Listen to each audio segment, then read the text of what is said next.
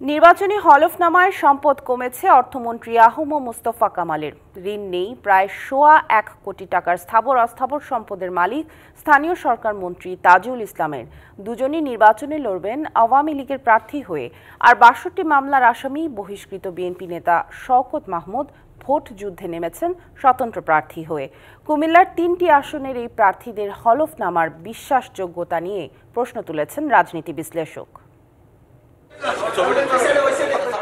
দ্বাদশ জাতীয় সংসদ নির্বাচনে কুমিল্লা দশ আসনে আওয়ামী লীগের প্রার্থী হয়ে লড়বেন অর্থমন্ত্রী আহ ম মুস্তফা কামাল।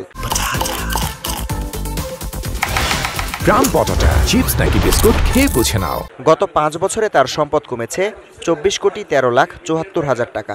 অবশ্য এই সম্পদ তিনি স্ত্রী কন্যা ও নাতি নাতনিদের দান করেছেন। এবছর নির্বাচনী হলফনামায় অর্থমন্ত্রী নিজের নামে আটত্রিশ কোটি তিন লাখ ছেচল্লিশ হাজার টাকার সম্পদের তথ্য দিয়েছেন, যা একাদশ সংসদ নির্বাচনে ছিল বাষট্টি কোটি সতেরো লাখ একুশ হাজার টাকা।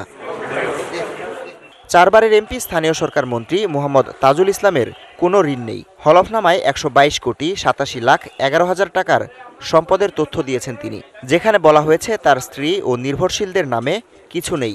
পেশায় ব্যবসায়ী এই মন্ত্রীর বার্ষিক আয় চার কোটি সতেরো লাখ বাহাত্তর হাজার টাকা। এবারও নৌকা প্রতীকে কুমিল্লা নয় আসনে লড়বেন তিনি। তবে বাষট্টি মামলা মাথায় নিয়ে কুমিল্লা পাঁচ আসনে স্বতন্ত্র প্রার্থী হয়েছেন জাতীয় প্রেস ক্লাবের সাবেক সভাপতি ও বিএনপির বহিষ্কৃত নেতা শওকত মাহমুদ। হলফনামায় উল্লেখ করেছেন, চাকরি থেকে তার বার্ষিক আয় চার লাখ টাকা। এছাড়াও একটি প্রাইভেট কার সহ অস্থাবর সম্পত্তি আছে সতেরো লাখ টাকার। নেই কোনো স্থাবর সম্পত্তি। তবে স্ত্রীর নামে আছে দশ ভরি স্বর্ণ ও নয় লাখ টাকার অস্থাবর সম্পত্তি। কোনো মামলা এখনও রায় দেওয়ার পর্যায়ে আসে নাই। তো কিন্তু আমাকে বিএনপি হয়তো দল থেকে বহিষ্কার করেছে কিন্তু মামলা থেকে তো আমি বহিষ্কৃত হই নাই। আমি তো স্বতন্ত্র প্রার্থী হিসাবে করেছি। তৃণমূল বা বিএনএম কোথাও আমি যাইনি। প্রার্থীদের হলফনামায় ফাঁক ফোকর আছে বলে মনে করেন রাজনীতির বিশ্লেষক।